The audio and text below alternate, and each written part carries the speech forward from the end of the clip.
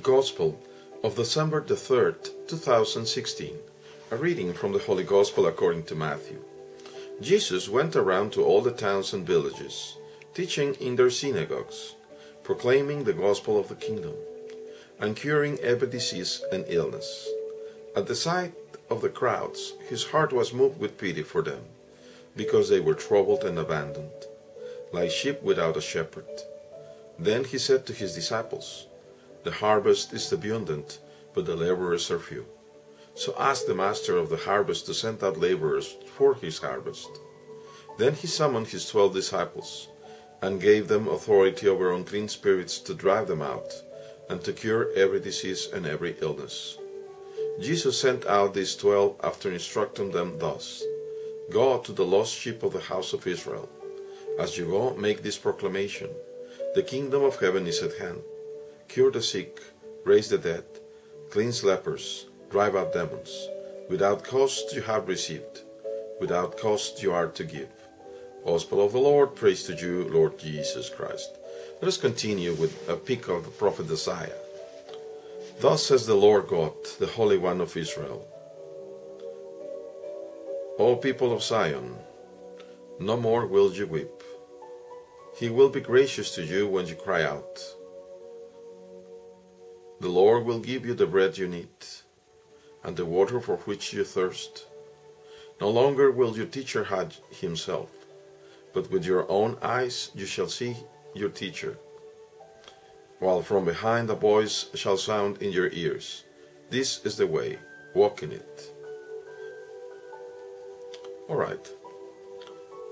The merciful God has shown himself by incarnating the second person of the Holy Trinity, the eternal Logos, incarnated himself with the unique will of the Father, the Son, and the Holy Spirit, and the aid of the Holy Spirit in the blessed and pure womb of the Virgin Mary.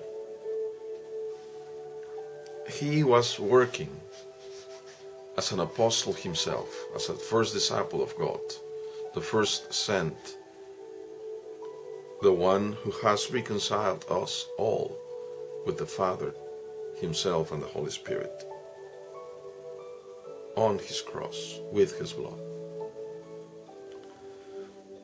He is going, well, alive in this world, going around everywhere, teaching the gospel of the kingdom, curing, and feeling the deep pang of the mercy.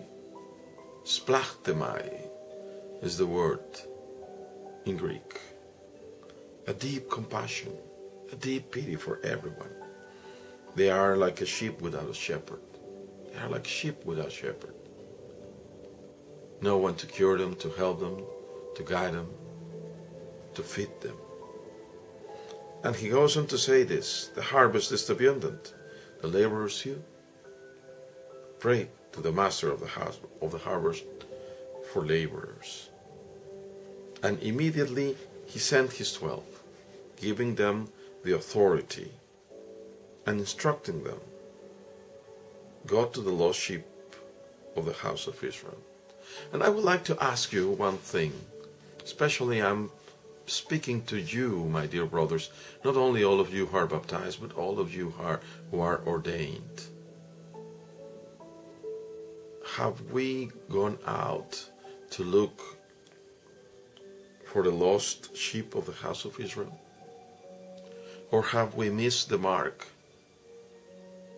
Have we have had deaf ears to the voice of God? This is one thing that we should keep in mind. We have to go out, look for the lost sheep. And that is not going to be easy. We cannot accomplish that by remaining in the parish or in the office.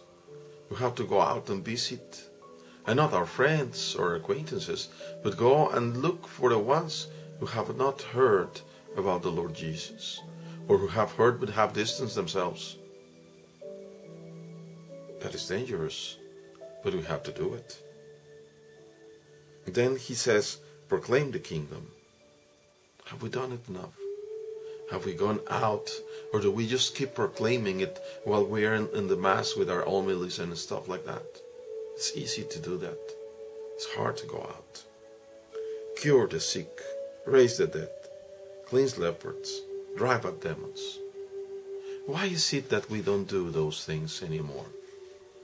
There are a few of us that do. But the fact is that most of us have rationalized, have reason, have become too reasonable, thinking that this is not necessary anymore. And we have become lazy. We have become oh, enthroned in our own high chairs, not doing what we should do as ministers, as servants, as slaves of our King. Should go out and work. We are burying the talent in the ground, keeping it there to give it back. What would you say, my dear brother, the chief of the parish? Will you tell the Lord, Lord, you gave me uh, 500 parishioners? Here's your 500 parishioners back? Is that how you think that you will be able to tell the Lord that you've done your, work, your good work? Is that not analogous? Is not that the same about the one who buried the talent in the ground? It is. Remember the one who won five or ten. So if you received it with 500, perhaps you could give it back with 5,000. But how are you going to do that? We lack prayer. We lack uh, fast fasting and we ourselves lack good deeds.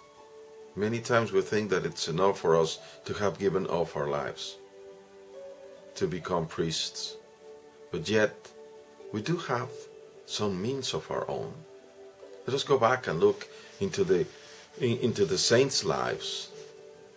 Say, for example, San Pio of Pietrelcina, who used to take out of his own bread to give to the poor, of his own bread and like that, we can hear, we can read about many more. Many, all over, all the saints would do that. To take away from what there was what theirs and give it back.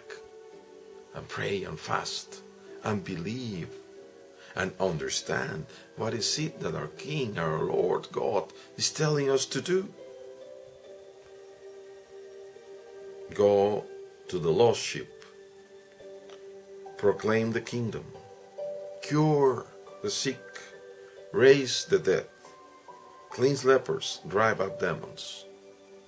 It is so sad to me to hear so many priests that are afraid or even would deny that there are demons would try to rationalize saying, oh, well, in reality there are no demons because all we do is just act badly, but there is no real demon outside. Yeah, right. Yeah, right. You're afraid, that's what you are.